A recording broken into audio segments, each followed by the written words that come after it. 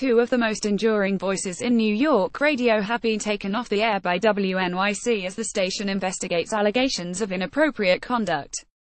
Leonard Lopate and Jonathan Schwartz were suspended amid the national reckoning over sexual harassment by powerful men, WNYC said Wednesday. The station did not detail the accusations against the septuagenarian public radio stars. The 77-year-old Lopate helms the popular The Leonard Lopate Show, a daily two-hour program that focuses on arts and entertainment. His soothing voice and breezy interviews have been a WNYC staple for more than 30 years. Schwartz, 79, hosts the Jonathan Channel, a show featuring his hand-picked songs, as well as other weekend programming. He started working in the New York radio market in 1967. In an interview with the New York Times, Lopate said he was baffled, and really quite shocked and upset, by the suspension. It makes no sense to me, he said. I am sure any honest investigation will completely clear me.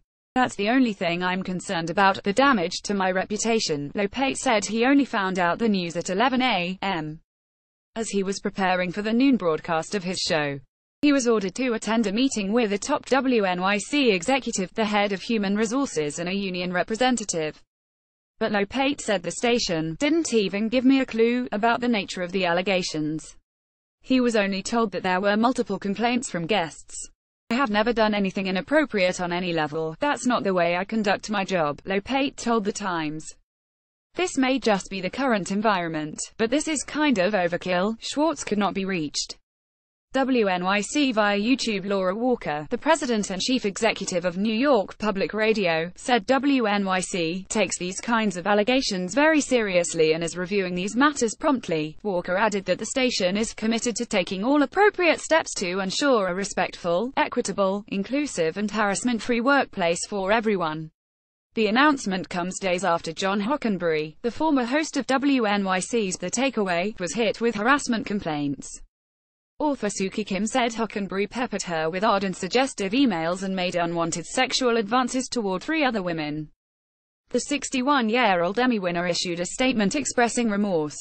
It horrifies me that I made the talented and driven people I worked with feel uncomfortable, and that the stress around putting together a great show was made worse by my behavior, said Hockenberry, who hosted The Takeaway from 2008 until earlier this year. WNYC host Mary Harris filled in for Lopate on Wednesday's broadcast. That was the hardest hosting I've ever done, she wrote on Twitter following the show.